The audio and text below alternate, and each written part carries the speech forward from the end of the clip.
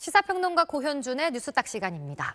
안녕하세요. 안녕하세요. 네, 얼마 전 서울시판 나는 솔로 행사가 열린다고 이 뉴스딱에서 전해드렸는데 네. 여기서 27쌍의 커플이 나왔다고요? 예, 서울시는 지난 23일 한강공원 세비섬에서 진행됐던 이 설레민 한강 행사를 통해서 최종 27쌍의 커플이 매칭됐다고 밝혔습니다.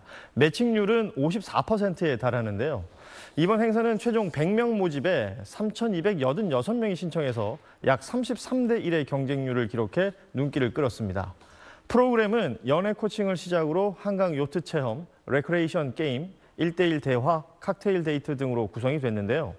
행사 종료 후에 참가자 대상 설문조사에서는 응답자의 84%가 프로그램과 운영에 대해 만족한다고 답했는데 프로그램 구성과 다양한 이성과의 대화 기회 등을 그 이유로 들었습니다.